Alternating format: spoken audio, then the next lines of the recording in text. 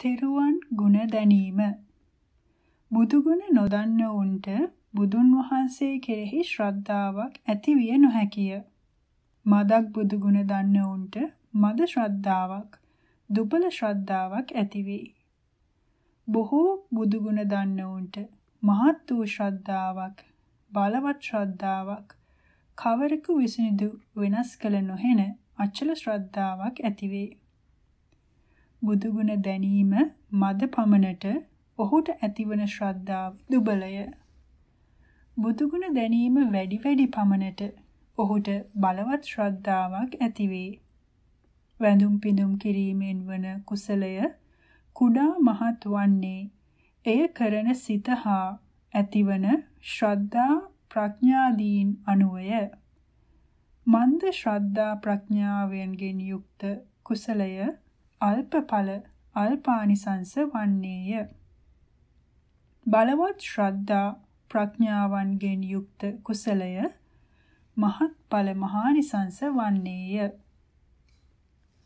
මහත්ඵල මහානිසංස වන පරිදි වැඳුම් පිදුම් කිරීමේ කුසලය ඇති කරගත හැකි වීමට තෙරුවන් ගුණ දැන ගැනීමට උත්සාහ කළ යුතුය. බුදු ගුණ ඊතා බොහෝය. ආකාශයේසේ අනන්තය කියා නිම කළ නොහැකිය.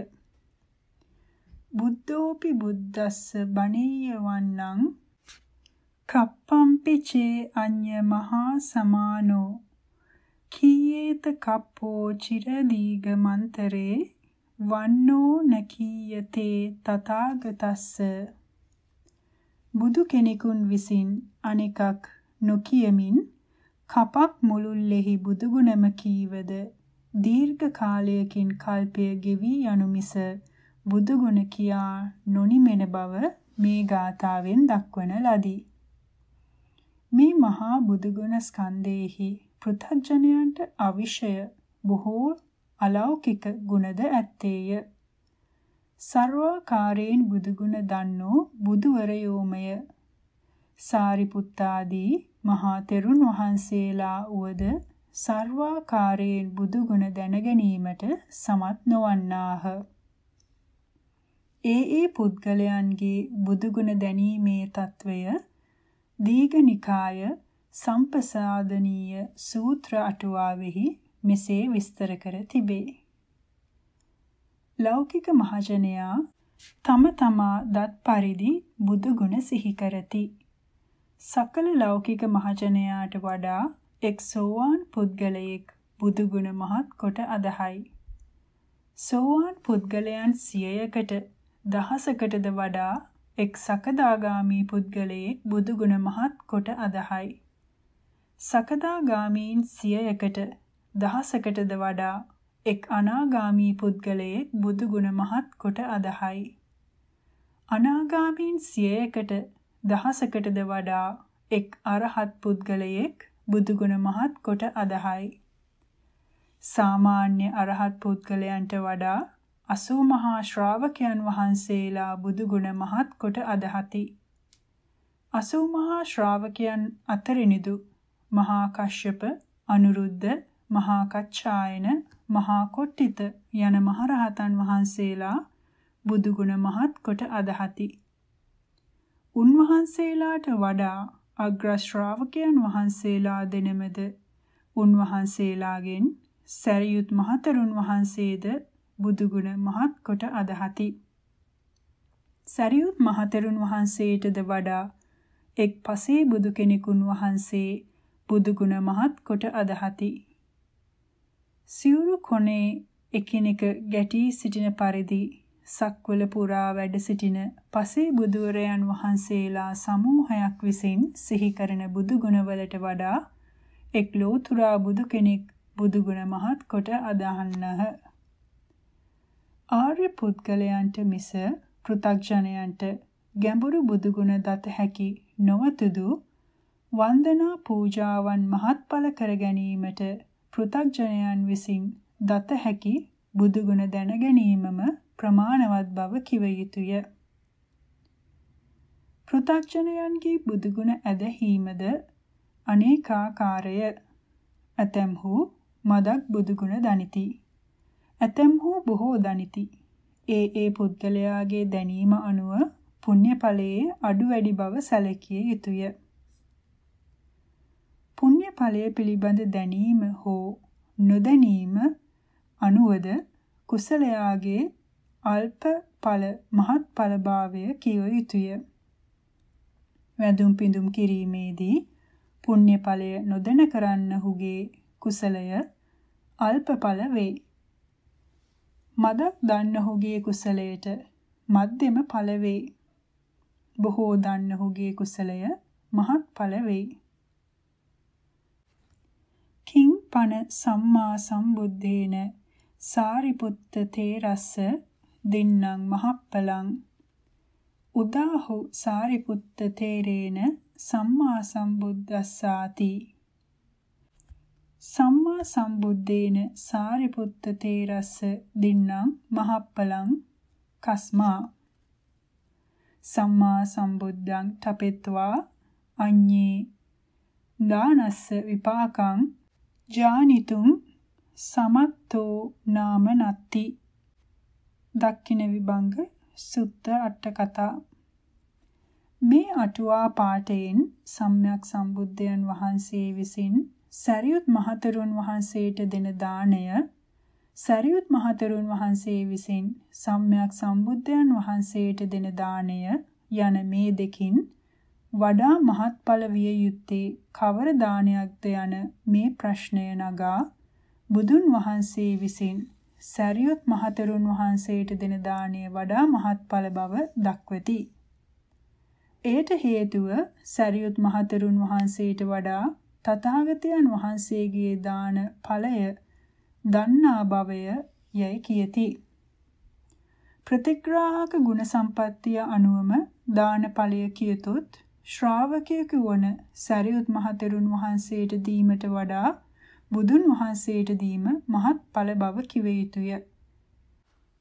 තථාගතයන් වහන්සේ විසින් තමන් වහන්සේට වඩා ගුණයෙන් ඊතා පහත් වන සරියුත් මහතෙරුන් වහන්සේට දීම මහත් ඵල පිනක් වීම පිළිබඳ ප්‍රතිග්‍රාහක ගුණයට වඩා දායකයාගේ අනුසස් දැනීම ප්‍රධාන කරුණක් වන බව පෙන්වා ඇත.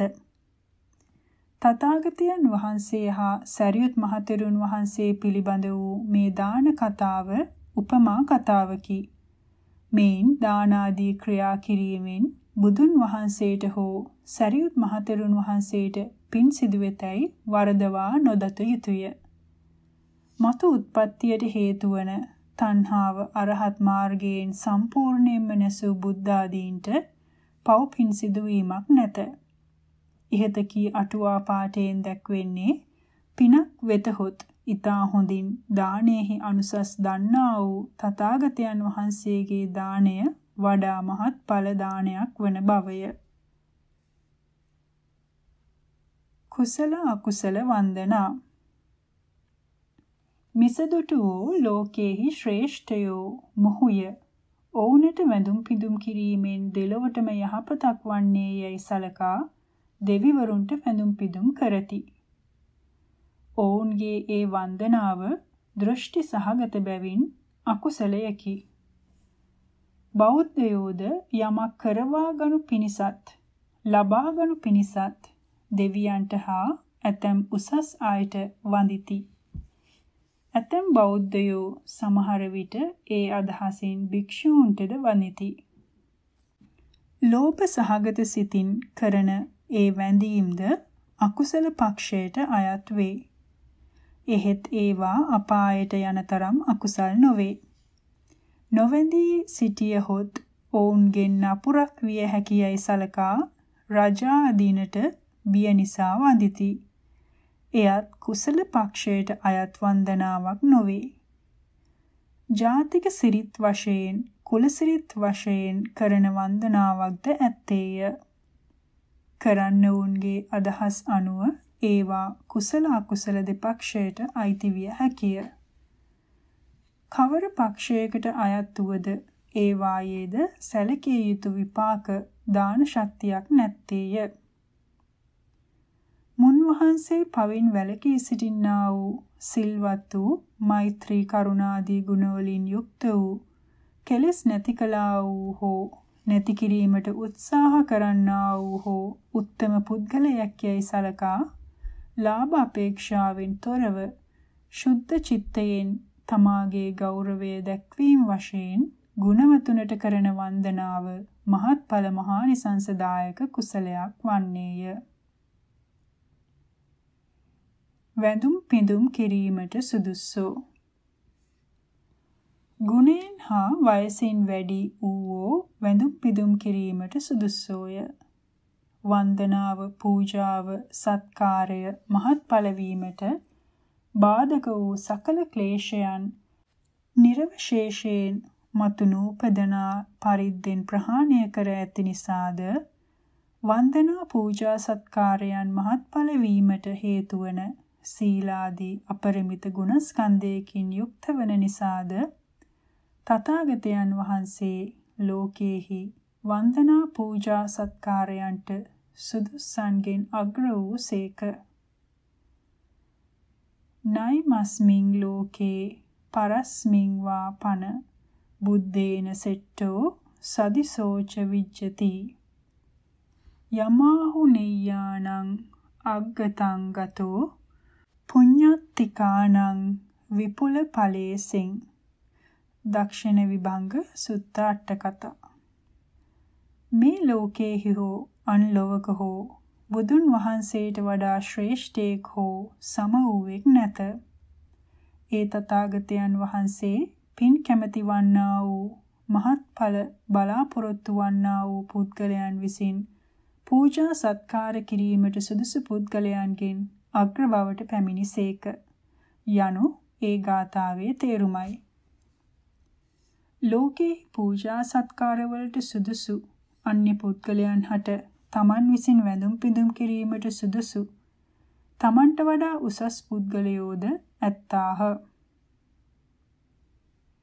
තථාගතයන් වහන්සේට වනාහි තමන් විසින් ගරු බුහුමන් කිරීමට සුදුසු තමන්ට වඩා උත්තම පුද්ගලයෙක් නැත්තේය.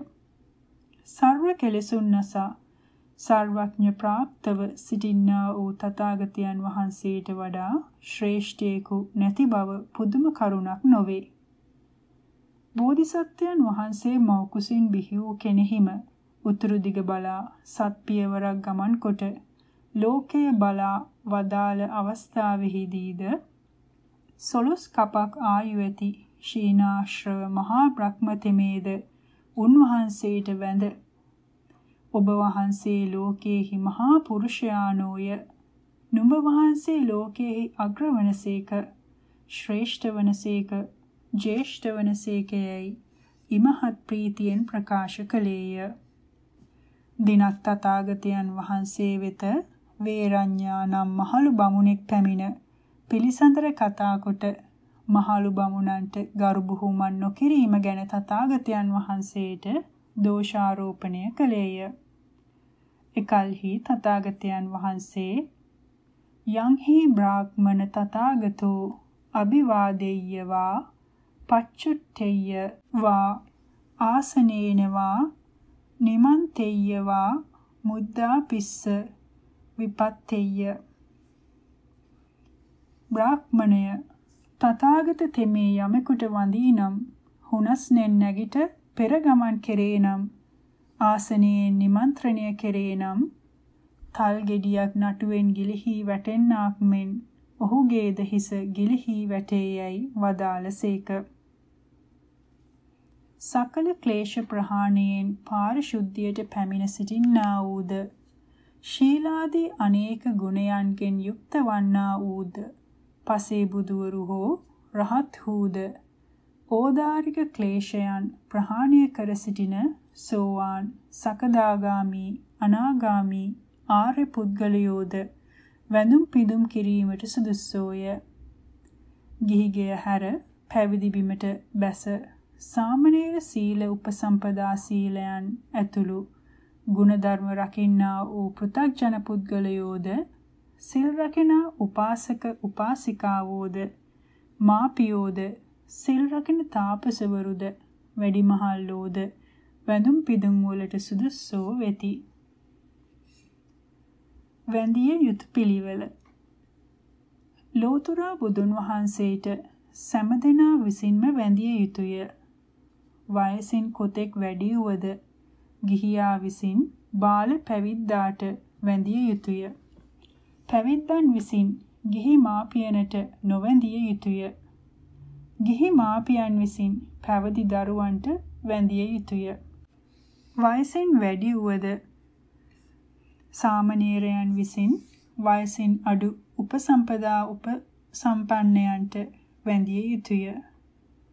උපසම්පන්නයන් විසින් උපසම්පදාවේ වයස අනුව වැඳීම් කළ යුතුය. වයස අඩු වුවද කලින් උපසම්පදාව ලබා ඇති භික්ෂුවට පසු උපසම්පදාවලත් භික්ෂුව විසින් වැඳිය යුතුය. බාලයා රහත් වුවද වැඩිමහලු පෘථග්ජන භික්ෂුවට වැඳිය යුතුය.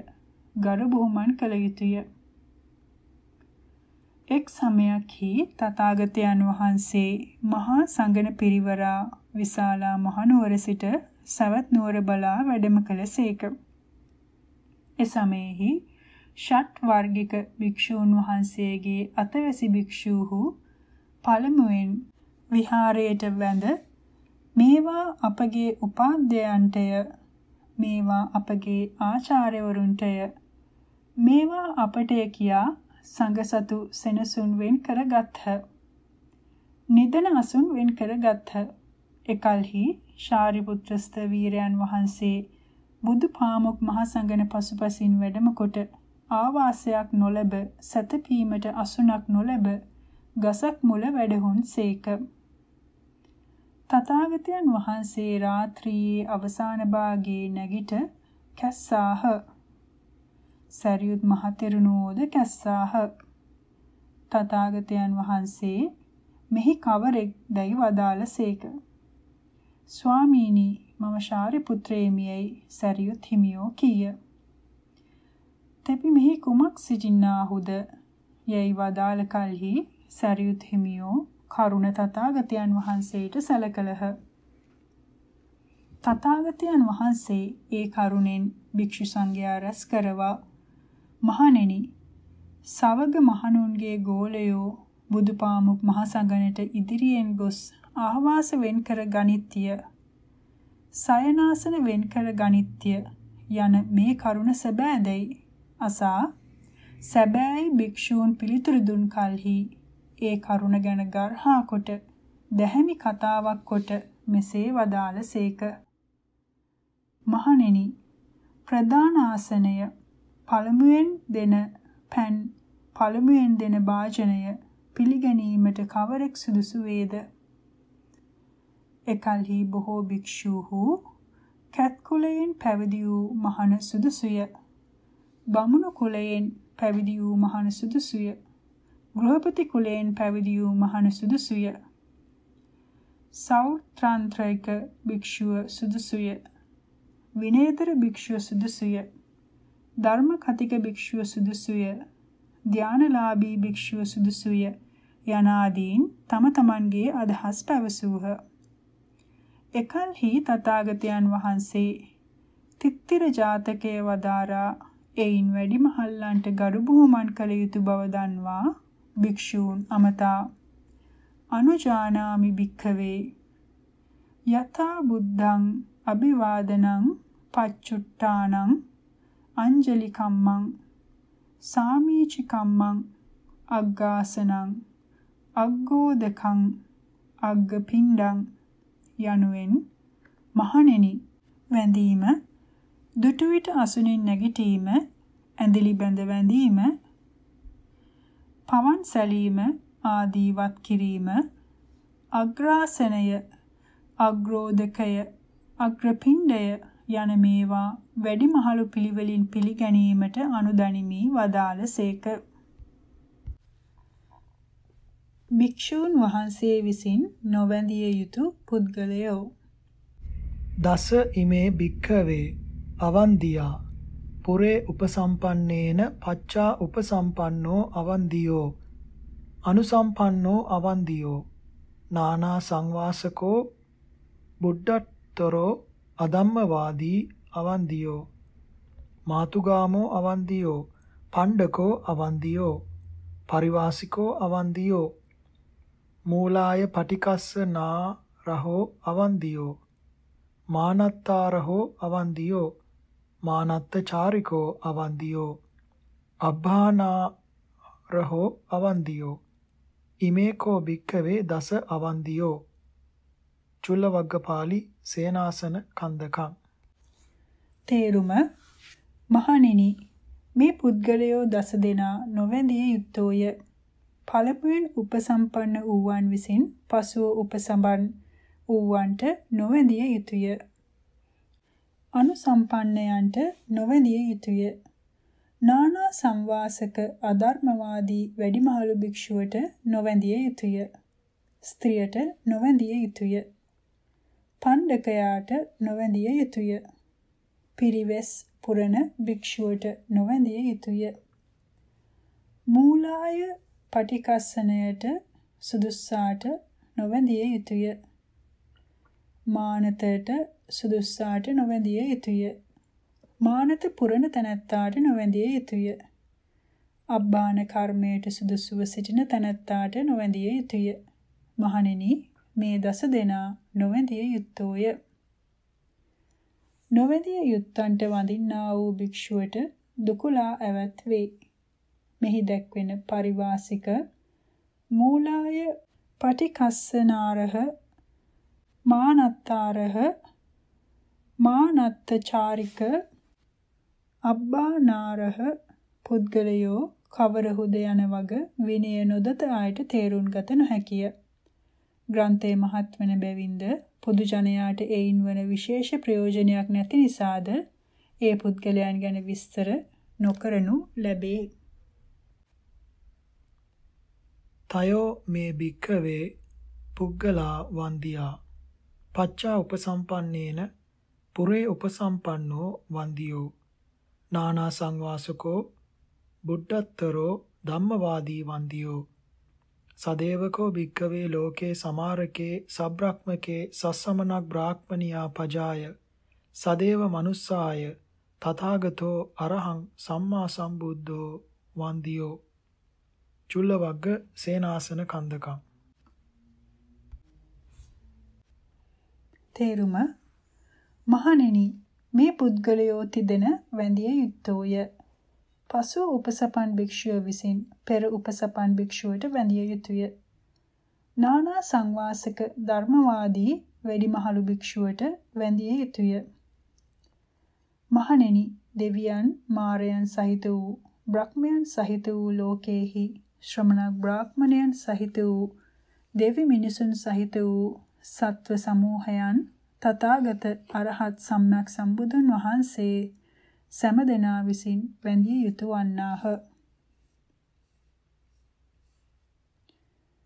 වන්දනීය වස්තු ජන සංග්‍රහ පිණිස තථාගතයන් වහන්සේ ජනපද චාරිකාවෙහි වැඩම කළ කලෙහි සවැත් නුවර වාසීහු සුවඳ මල් ආදී පූජා වස්තුන්ගෙන දෙවුරම් වෙහෙරට පැමිණ සර්වඥයන් වහන්සේ නොදැක ඒ වස්තුන් පුදන්නට කෙනෙකු හෝ තැනක් නැතිව බුදුන් වහන්සේ වැඩ සිටින ගඳ කෙලිය දොරකඩ බිම හලා යන්නට ඌහ.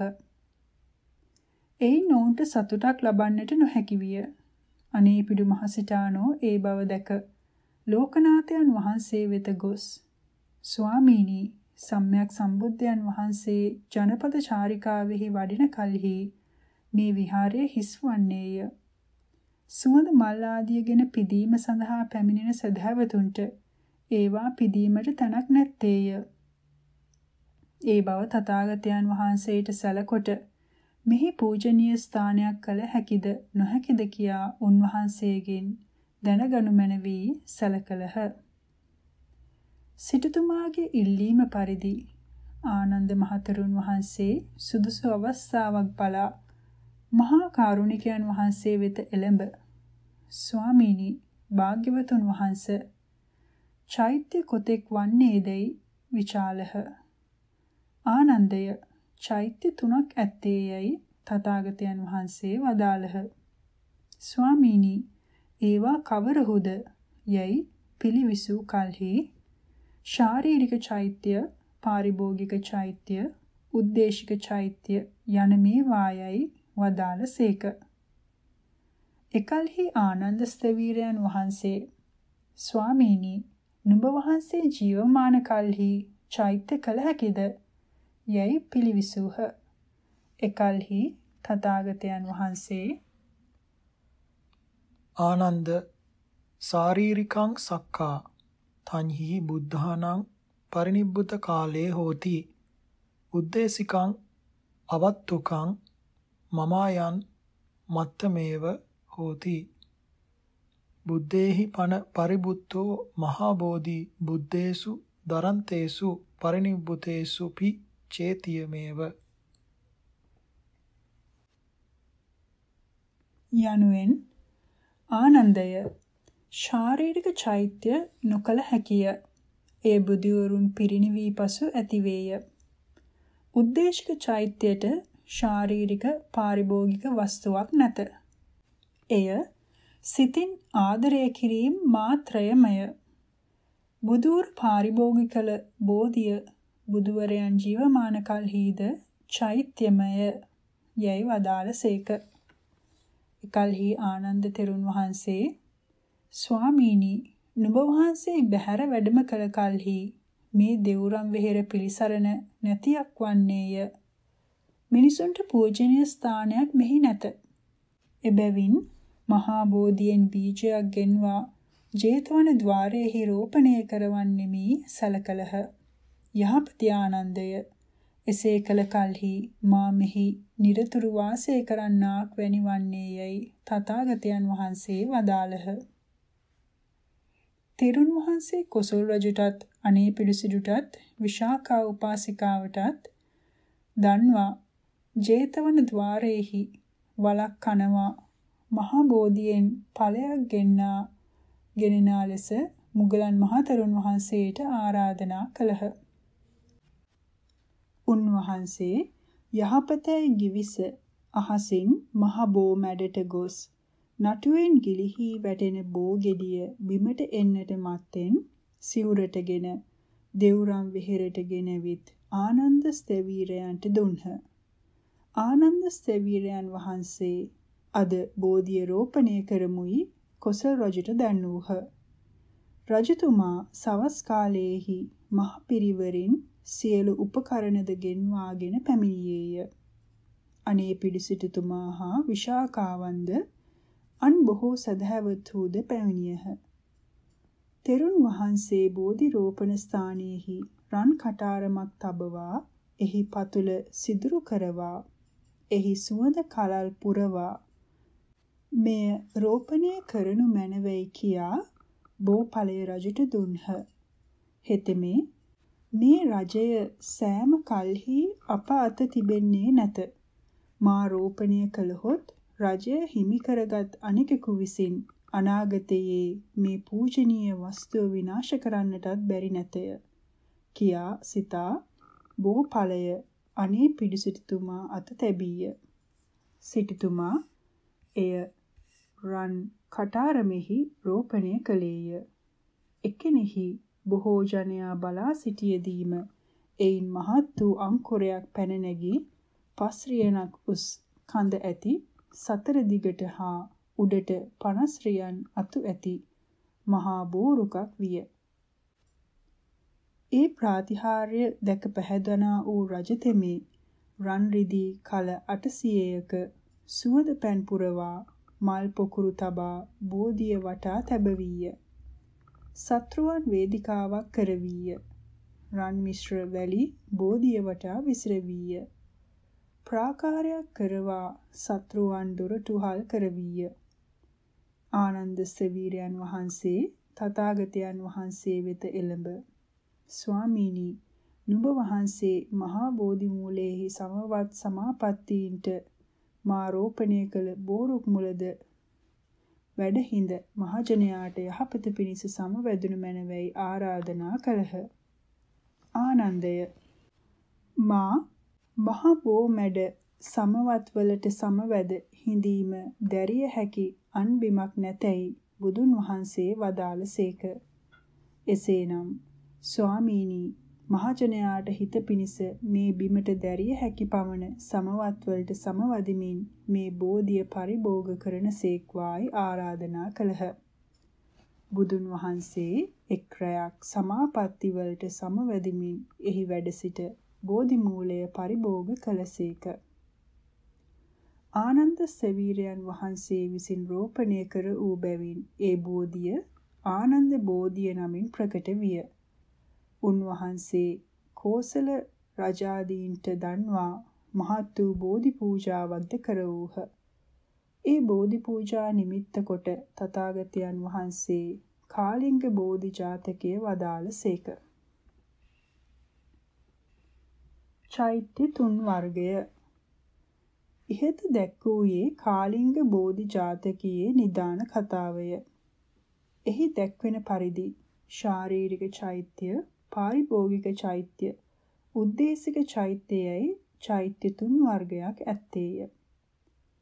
මේ චෛත්‍ය තුන් වර්ගය නියම කර ඇත්තේ බුදුරදුන් නැති කලෙහි උන්වහන්සේට කරන වැඳුම් පිදුම් ඒ චෛත්‍යයන්ට හෝ චෛත්‍ය ස්ථානයන්හි හෝ කිරීම පිණිසය.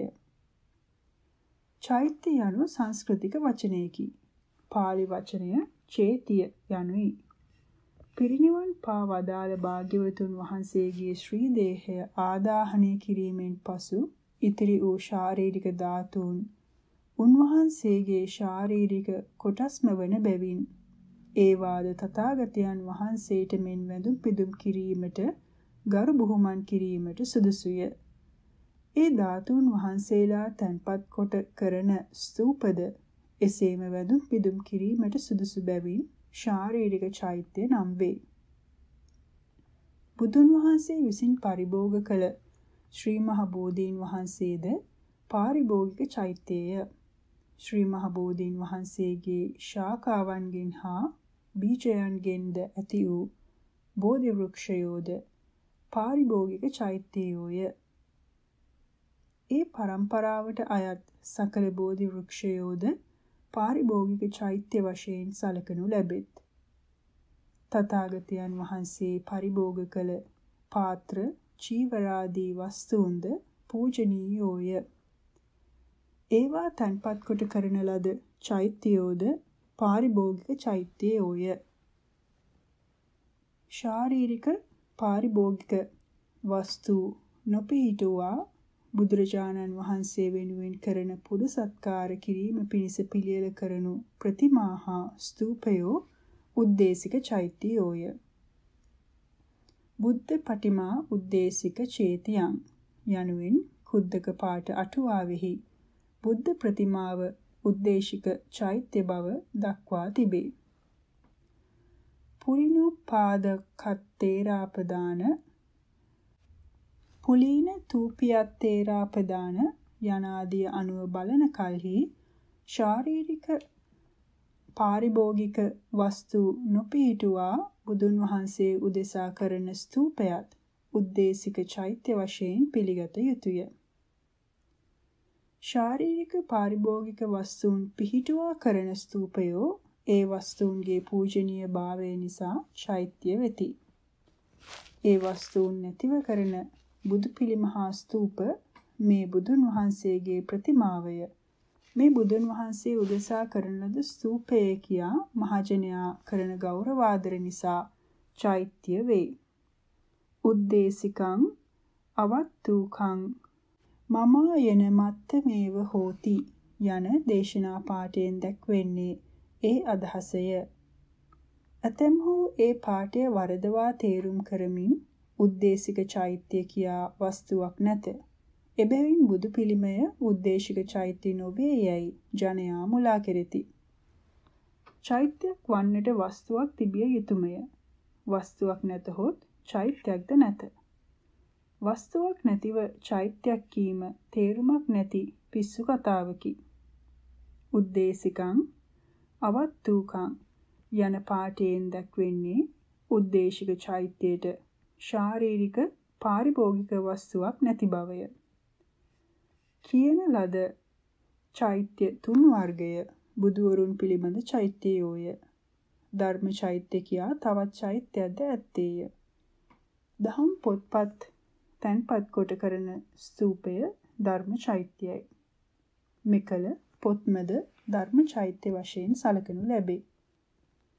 මෙකල බෞද්ධයන් චෛත්‍ය යන නම ව්‍යවහාර කරන්නේ ස්තූපවලට පමණකි.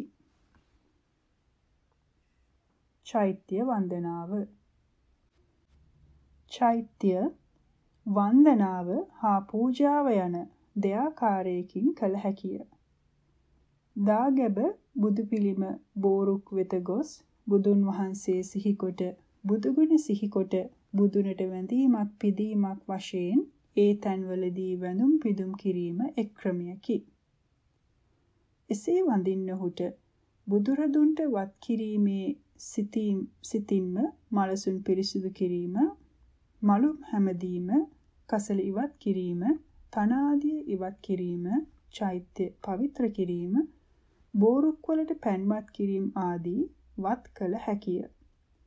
එසේ කරන්නහුට ඇතිවන කුසල කෙලින්ම බුදුරදුන් අරමුණු කොට ඇතිවන ඒවා බැවින් වඩා උසස් වේ.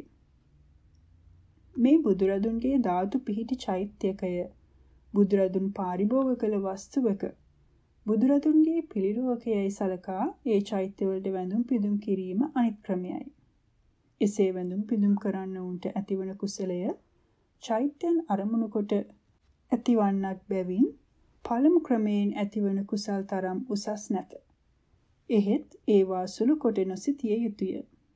ඒවාත් ත්‍රිවිධ සම්පත්තිය සලසා දෙන කුසල්ය. යේහි කේචි ආනන්ද චේතිය චාරිකං අහින්ද දන්තා පසන්න චිත්තා කාලං කරිස්සන්ති සබ්බේතේ කායස්ස වේදා පරම්මරණ සුගතින් සග්ගං ලෝකං uppajjissanti යනුවෙන් ආනන්දය චෛත්‍ය වන්දනාවෙහි ඇවිදින්නා වූ යමෙක් පහන් සිතින් කලුරිය කෙරෙද්ද ඔව්හු මරුණින් මතු ස්වර්ග ලෝකයේහි උපදින්නාහ යයි මහා පරිනිර්වාණ සූත්‍රයේහි වදාරා ඇත්තේය.